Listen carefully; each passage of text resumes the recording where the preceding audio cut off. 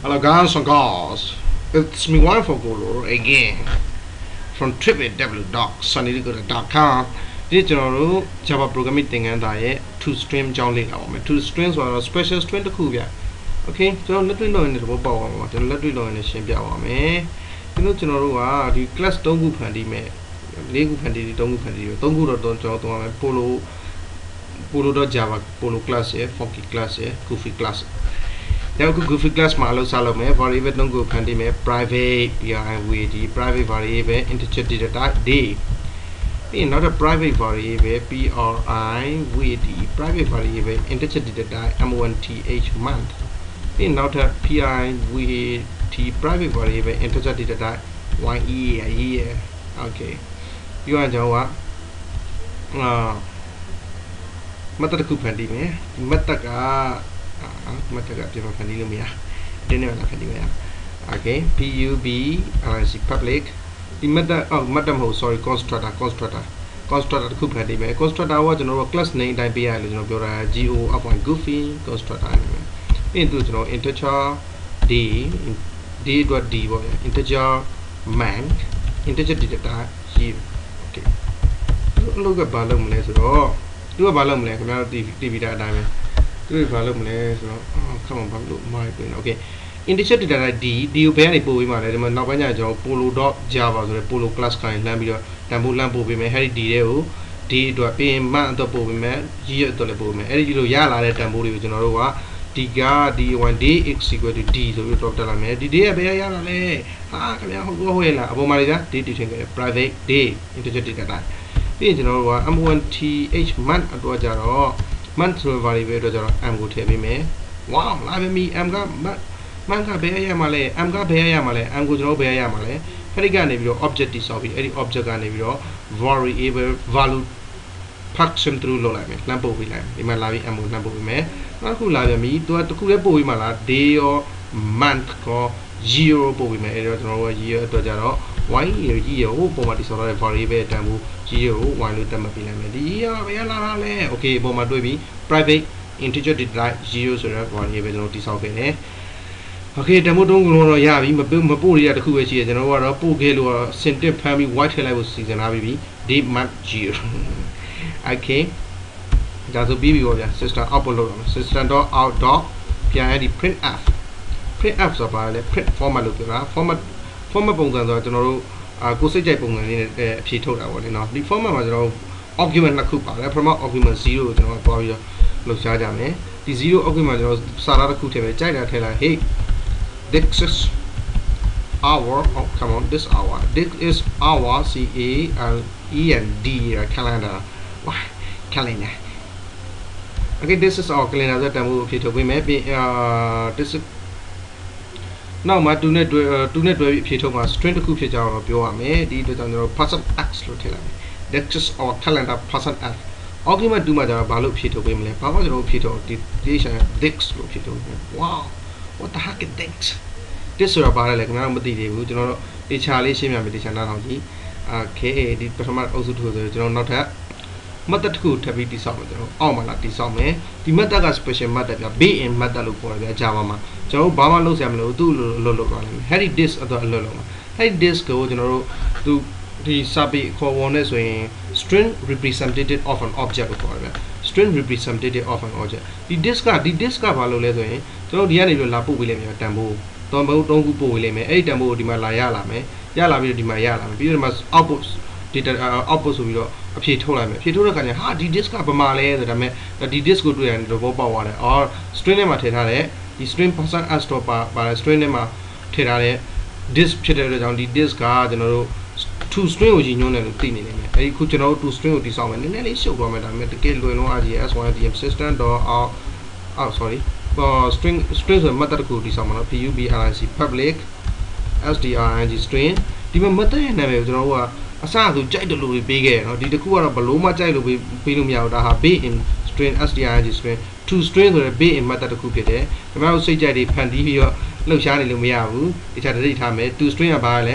be in method တစ်ခုဖြစ်တယ် okay string to string ကောင်းပြီ to string မှာကျွန်တော်တို့ဘာဟို retur return value ပြန်ပေးမယ်အဲ့ return value က string string dot okay F O R M A T format okay argument တစ်ခုပါဘာမှမတွားခင်ကျွန်တော်တို့ဒီမှာတစ်ချက်ပြန်ကြည့်အောင်မနော်ဒီချက်ရှင်းပြမယ်အဲ့ဒီမှာကျွန်တော်တို့က day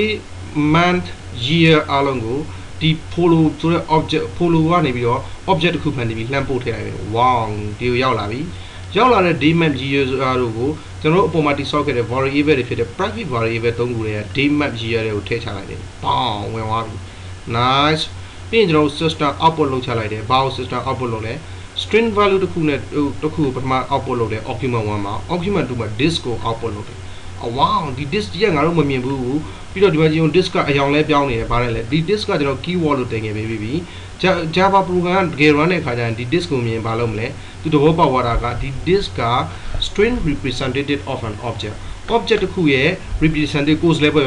object တစ်ခုတို့ဥမာအဖြေထုတ်မဲ့ string ရဲ့ ကိုယ်စလဲတစ်ခုဖြစ်တယ်ဆိုတော့သဘောပေါက်တယ်ကိုယ်စလဲပေါ့ဗျာနော်ဒီကောင်မထုတ်ရဘူးသူ့ရဲ့အစားတစ်ခုထုတ်မယ် variable တွေလိုပဲဗျာ variable က x equal to 20ဆိုကျွန်တော်တို့ s ကိုအဖြေထုတ်ရင်တကယ် x ထွက်လာလားမထွက်လာပဲနဲ့20အဖြေထွက်လာဒီလိုပဲဒီ disk ကအဖြေထွက်မလာဘူးဒီ disk ကိုတွေ့ရတဲ့ Java ဘာလိုက်ရှာမလဲ to string ကိုလိုက်ရှာရမယ်သူက string representative ဖြစ်တဲ့အတွက်ကြောင့် to string ပါတဲ့ method ကိုလိုက်ရှာမယ်ကျွန်တော် to string method ကိုဒီမှာတော့တွေ့မယ်ပေါ့ အဲ့ to string method ကိုကျွန်တော်ရေးလိုက်တော့ကြတော့ base in method တစ်ခုဖြစ်တဲ့အတွက်ကြောင့်ဘာနာမည်မှပြောင်းလို့မရဘူးခင်ဗျားတို့ဘာ idea တွေဘာအတွေးခေါ်တွေဘာလှည့်သားမှုတွေမှလုပ်လို့မရဘူးဒါက base in method တစ်ခုဖြစ်တယ်ဒီနာမည်ဆိုဒီနာမည်တစ်ခုပဲရေးရမယ်တခြားနာမည်ရေးရင်ဘာဖြစ်လဲ Java ကအလုံးမလုပ်တော့ဘူးခင်ဗျားတို့နဲ့ကျွန်တော်လည်းပြန်တာအကြီးကြီးတက်လိုက်မယ် okay ဒီ to string ဆိုတဲ့ method ကိုကျွန်တော်တိဆောက်လိုက်တော့ဒီဘက်ဘေးမှာလာကြညာအစိမ့်လေးတွေ့ရမလားအာ override java.lang object to string ဆိုပြီးတော့ ဟိုဒါဘာကိုပြနေလဲဆိုတော့ big in method တစ်ခုကြောင့်ဖြစ်ကြောင်းသူသိတော့အစိမ်းအောင်များလေးနဲ့သူရဲ့အလုပ်လုပ်ပုံ override ပြရတယ်နော် okay မြေအခုအားလုံးသဘောပေါက်သွားပြီအဲ့ဒီ to string ကအခေါ်ခံရလိမ့်မယ်ဘယ်အချိန်မှာလဲ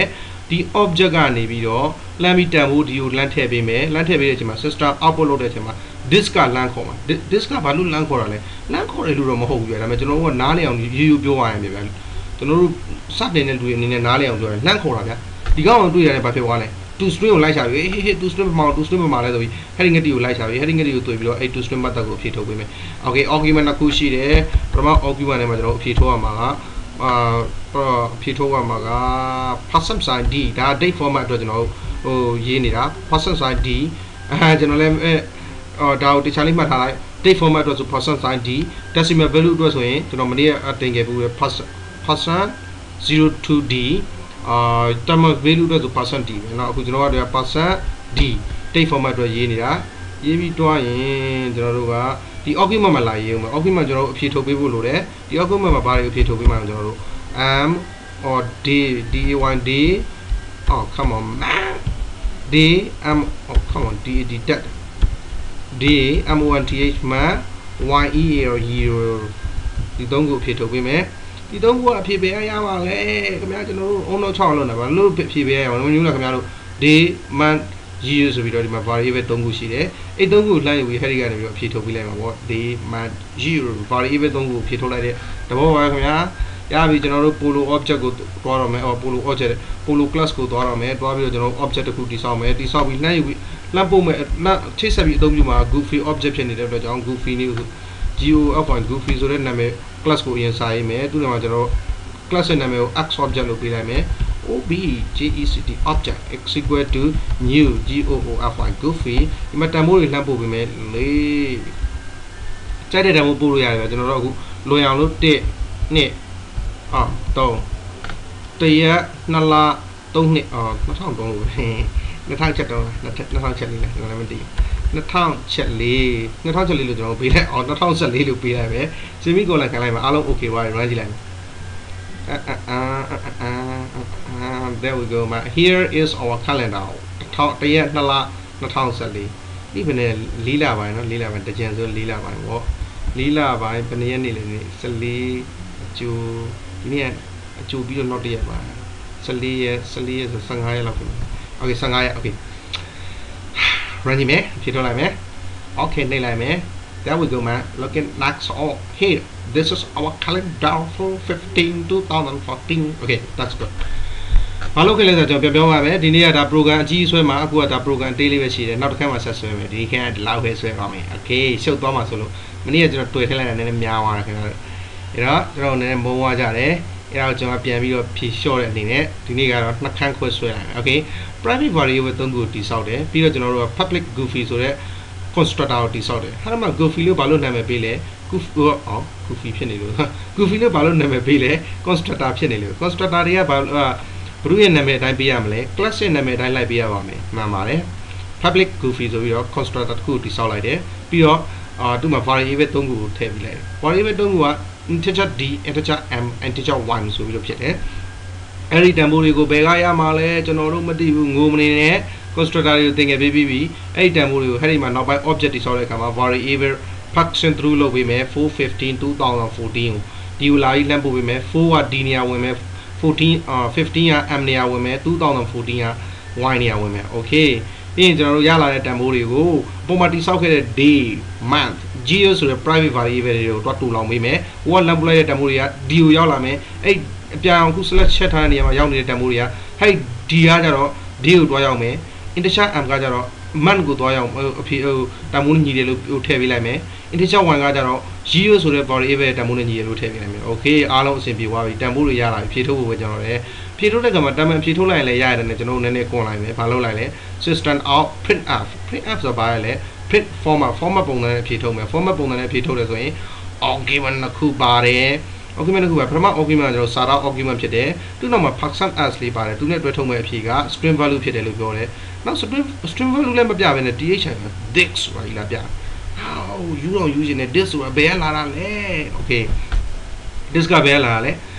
ဒီ disk က representative of an object object တစ်ခုရဲ့ကိုယ်စားလှယ်ပေါ့ဗျာ object ကဘယ်ကိုခေါ်မလဲအဖြေကိုဒီကနေတန်ဖိုးလှမ်းထည့်ပေးမယ်ထည့်ပေးပြီးတော့ဒီမှာလမ်းရောက်မယ်ဒီကနေဒီကနေတွားပြီးတော့ဒီမှာအဖြေထုတ်တော့မယ်အဖြေထုတ်မယ်ဆိုရင်အဲ့ဒီ object ကိုအဖြေထုတ်လို့ရအောင်ဆိုပြီးကျွန်တော်တို့က object ကခေါ်ပြီးအဖြေထုတ်တဲ့အခါခါကြရင်အဖြေထုတ်လို့ရအောင်ဆိုပြီးတော့ဒီ disk ကိုကျွန်တော်တို့ကကိုယ်စားလှယ်ခန့်ထားတယ်ဒီ disk ကိုမြင်လာတဲ့ကျွန်တော်တို့က base instructor java base instructor တွေကတည်တယ်ဒီ disk ကလည်း java base in keyword ဖြစ်တယ်သူကတည်တယ် disk ကိုမြင်လာတဲ့ to string ကိုငါတို့ရှာရတော့မယ် to string ဆိုတဲ့ base instructor ရှိတယ်ငါဒီမှာ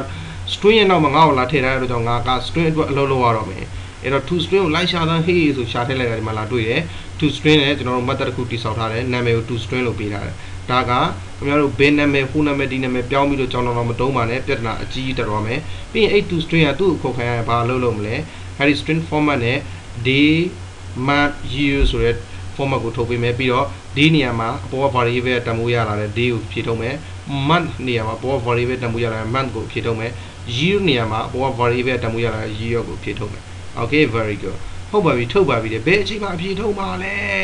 သူ့ကိုခေါ်ခံရတဲ့အချိန်မှာအဖြေထုတ်မယ်သူ့ကဘယ်ကောင်ခေါ်မှာဒီ disk ကခေါ်မှာခေါ်တယ်လို့တဘောတော့အတိအကျမဟုတ်ဘူးဒါပေမဲ့ဒီ disk ကိုဒီမှာထည့်ထားတဲ့အတွက်ကြောင့်ဒီ disk က string representative ဖြစ်တဲ့အတွက်ကြောင့်ဟဲ့ string ရဲ့ကိုယ်စားလှယ်ပေါ့ဗျာဒီမှာ string လာမရေးဘဲနဲ့ကဲနောက်ဆုံးရိုင်းရိုင်းပြောရရင်ဟုတ် ရိုင်းလည်းမရိုင်းပါဘူးဒီဒီ disk နေရာမှာဟဲ့ဟဲ့ကောင်လာရေးရမှာမတ်တက်ကိုလာရေးရမှာအဲ့တော့လာမရေးဘဲနဲ့တီးတန့်ရေးလိုက်တယ်ဆိုတော့တဘောပါပဲเนาะဒီ disk နေရာမှာ okay very good ဒီတင်ငယ်သားလောက်မယ်အားလုံးဆက်တွေ့